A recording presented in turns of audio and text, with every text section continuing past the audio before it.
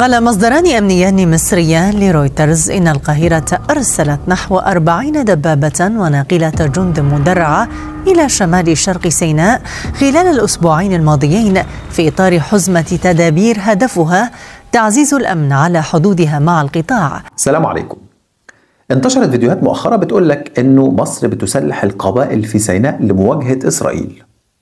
ما حقيقة هذا الأمر؟ وهل مصر تعمل كده وتسلح قبائل سيناء لمواجهة إسرائيل في حالة انه إسرائيل توغلت في رفح أو امتدت الأيد لضرب الأراضي المصرية؟ الحقيقة إن في ضربات تلقتها رفح على مدار الأيام القليلة الماضية، ضربات من الجو، فيش توغل بري حتى الآن. ولكن هناك ضربات من الجو بعضها طال مناطق قريبة جدا من معبر رفح وده بيدق ناقوس الخطر هل عشان كده مصر هتسلح القبائل في سيناء وتحديدا في شمال سيناء لمجابهة إسرائيل.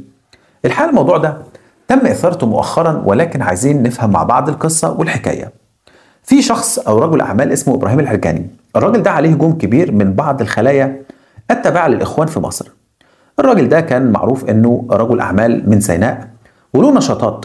البعض صنفها بأنها نشاطات غير مشروعة. يعني البعض قال لك الراجل ده كان بيتاجر في المخدرات وقبض على رجال الشرطة في سنة 2008 ولكن عايز أقول لحضرتك إن الراجل ده النهارده بيقوم بدور كبير جدا في دعم الدولة في سيناء. يعني مثلا إبراهيم العرجاني ده يعتبر هو رجل أعمال بيقود مسيرة لعملية بناء في سيناء بتشمل عدة مناطق سكنية ومناطق سياحية.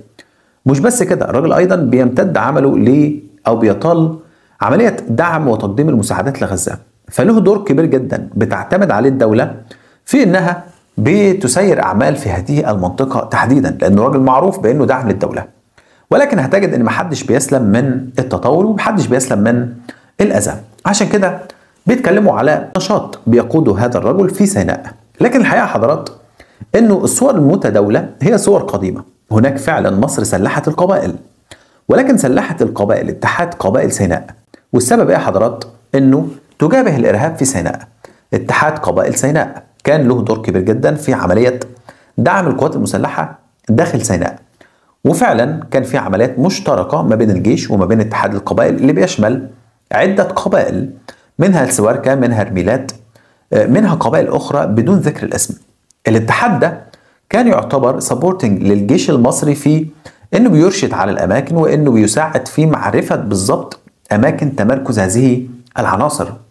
وبعد انضمام الاتحاد القبائلي للجيش المصري في العملية الشاملة سيناء 2018 وما بعدها تغيرت العملية بشكل كبير جدا وقدر الجيش المصري إنه يبسط مزيد من النفوذ على سيناء لدرجة إن أنت النهارده تقدر تقول حرفيا سيناء خالية من أي عنصر يمثل تهديد للأمن القومي للبلاد. عشان كده بتجد إنه هناك بعض الفيديوهات بتخرج يقول لك إن مصر هتستخدم هذه العناصر لمجابهه إسرائيل والحقيقة عايز أقول لحضرتك إن الموضوع ده عاري تماما عن الصحه اللي يفهم سياسة الدولة المصرية هيعرف إن دي سياسة لا تدعم أي ميليشيات أو جماعات داخل الوطن. هي سياسة بتدعم لقوة واحدة هي إن الدولة يكون ليها قوة حامية واحدة. هتقول طيب ما هم عملوا قوات من القبائل دعمت الجيش في حرب ضد الإرهاب. هقول لحضرتك إنه بعد فورا ما انتهت العملية تم تفكيك هذه القوات قوات اتحاد قبائل سيناء. ده يمكن كمان الصفحة اتقفلت أو تم إيقاف نشر أي أخبار على هذه الصفحة من وقتها. فعشان كده مصر بتعرف مدى خطورة إن يكون عندك قوات غير نظامية أو قوات باراميلتري شبه عسكرية موجودة على الأرض. مصر تدرك جدا خطورة هذا الأمر. ايا كانت هذه القوات منين وفين وايا كان وجود هذه القوات وتمركزها. عشان كده بقول لحضرتك لا يمكن اطلاقا إن مصر تنشئ قوات شبه نظامية لمحاربة جيش نظامي زي الجيش الإسرائيلي. إحنا هنا ما بنتكلمش على المقاومة الشعبية أو العمليات الفدائية قديما.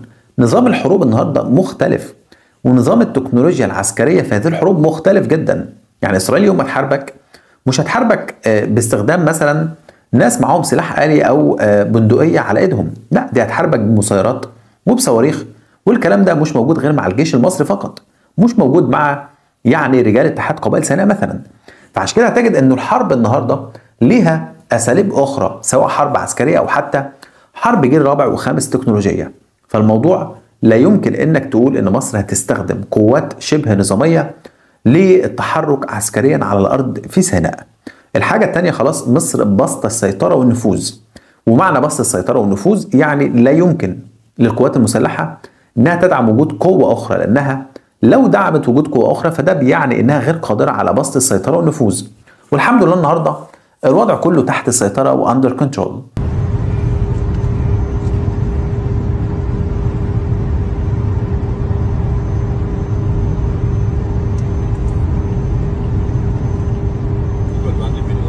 كمان خلال الأيام الأخيرة لاحظنا إن في فيديوهات منتشرة على ال social media لتحركات قوات مصرية على الأرض في اتجاه الحدود. ما حقيقة هذه الفيديوهات؟ فعلا دي فيديوهات حقيقية وصحيحة.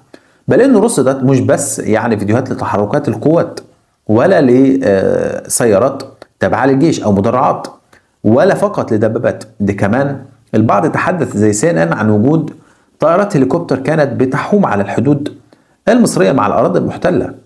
فمصر هنا بتعزز التمركز والتموضع العسكري في سيناء بقوات وبعمل أيضا على الأرض سواء في إنشاء أسلاك أو تعزيز أمن الحدود لحماية حدودها من أي تهديد محتمل من هذه المنطقة. ربنا يحفظ مصر بشكركم جدا والسلام عليكم ورحمة الله وبركاته.